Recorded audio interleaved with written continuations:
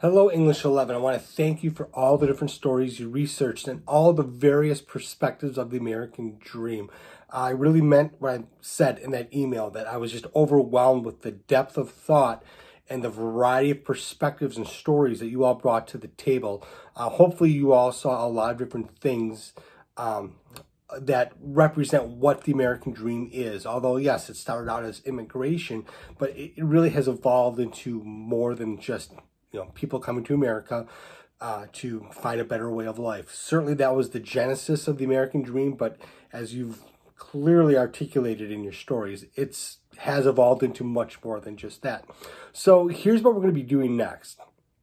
Um, typically with English 11 classes, especially with um, some of the other teachers that teach English 11, they've had students read different novels like The Great Gatsby or Of Mice and Men because they portray some of these American dream perspectives that you've already researched.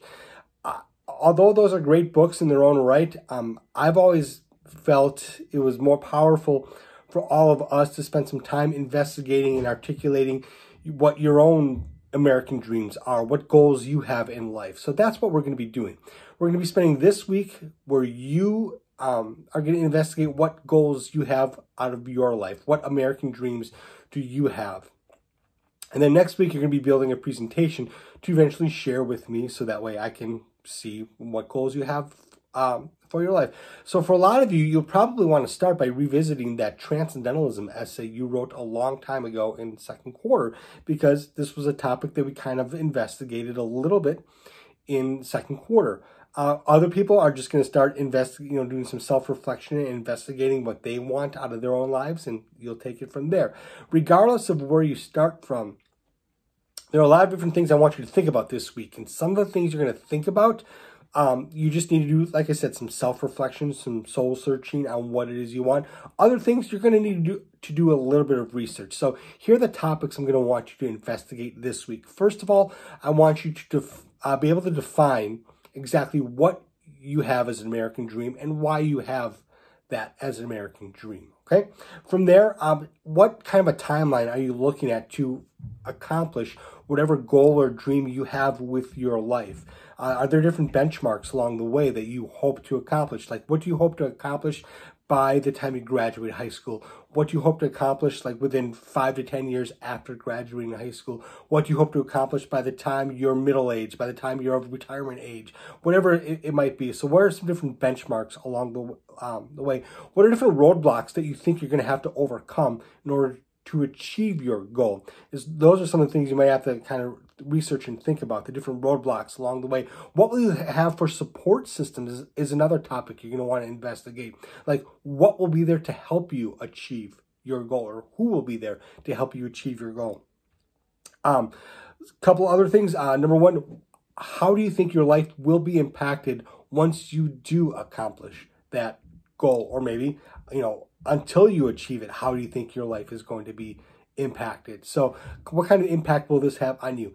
Um, so you can start out with all of those things, defining what it is, why you have this dream, uh, the timeline that you hope to accomplish, the roadblocks along the way that you need to overcome, the support systems that are going to be there to help you, and how you think you'll be impacted.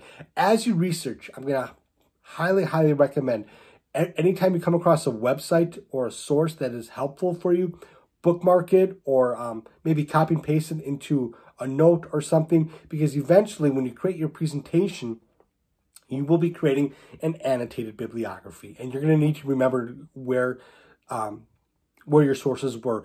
And typically, um, you should have at least three different sources of information as you do your research this week. So, research what your American dream is this week. You're going to fill out a Google form that I have in the email that just lets me know where you're started, where you're heading in, in, in, in this um, assignment and I'll be able to take your attendance for the week in that one Google form.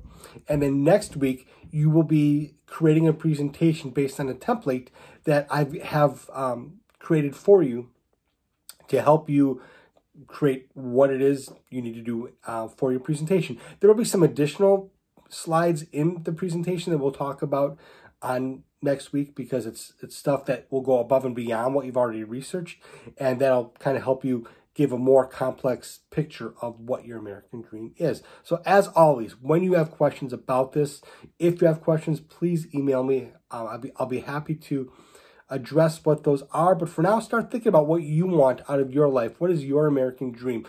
Why is it your dream? How are you going to accomplish it? When, what's your timeline going to be? What roadblocks do you have to overcome? What support systems will you have? All those kinds of things.